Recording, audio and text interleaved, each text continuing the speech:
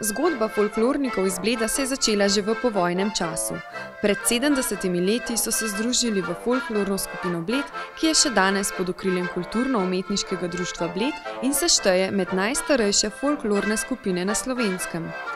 Četrti narodno-zabavni večer Oktober je fest na Bled je bila osrednja slovesnost ob 70. obletnici delovanja folklornikov, ki še vedno stremijo za podobnimi vrednotami kot včasih je v bistvu hotel so prikazati uh, vse te plese, stare in uh, pesmi, viže. In takrat, v bistvu po vojni, so hotel dokazati oziroma pokazati, da Slovenija obstaja, oziroma uh, da so zmagali v vojni. In tako se je v bistvu začelo, čisto na prijateljskem uh, delu. Narodni plesi so ljudsko izročilo, ki se iz roda v rod prenašajo predvsem po spominu, kljub temu pa so zelo pomembni tudi dobri mentori. Kakšna je vaša vloga pri celotnem društvu, da prenašate ta izročilo naprej?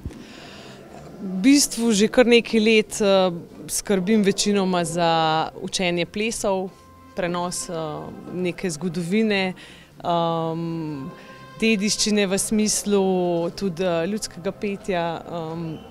Bolj kot ne ozaveščanje tega, da je nekaj prej bilo, pa poskušamo pa čim bolj slediti uh, zapisom, kot so ohranjeni. Kako pa je uspelo društvu v bistvu doseči tako zlato številko? Ja, v bistvu sodimo med najstarejše folklorne skupine, sploh na slovenskem.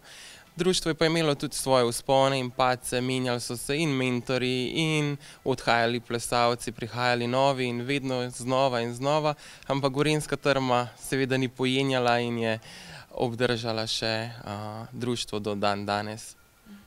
Tako kot pri vsaki stvari, pa folklorniki pravijo, da je pomembno srce. Ritem imamo, srce pa tudi, pa pa ne nas vodi ritem srca in na nastopih in kamorkoli vandremo, zmer gremo s srcem. Prav to je bilo videti v hudomušni igri, za katero je scenarij pripravila Gaja Potočnik. Ne bi rekla, da je ravno moje, ampak sem združila to, kar je že enkrat bilo, saj upam, da je bilo tako. V igri je bila osrednja pozornost namenjena Josefini Hočevar, dobrotnici in gospodarstvenici iz Radovlice. Na odru smo poleg 15 novih ljudskih oblek premjerno videli tudi obleko Josefine.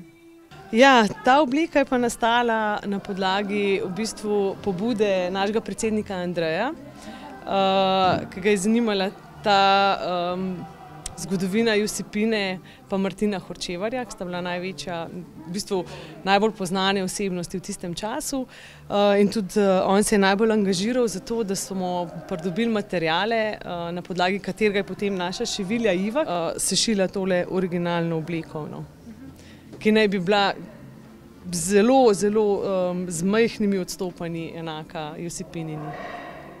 Da je bil večer res fest, so dogodek popestrili tudi glasbeniki, godba Gorje, skupina Sexta Kord, ansambl Lojzota Ogorevca in drugi zanimivi gostje, vse skupaj pa je imelo dobrodelno noto, saj so organizatori dogodka delček iz kupička namenili dečku, ki se bori s spinalno paralizo.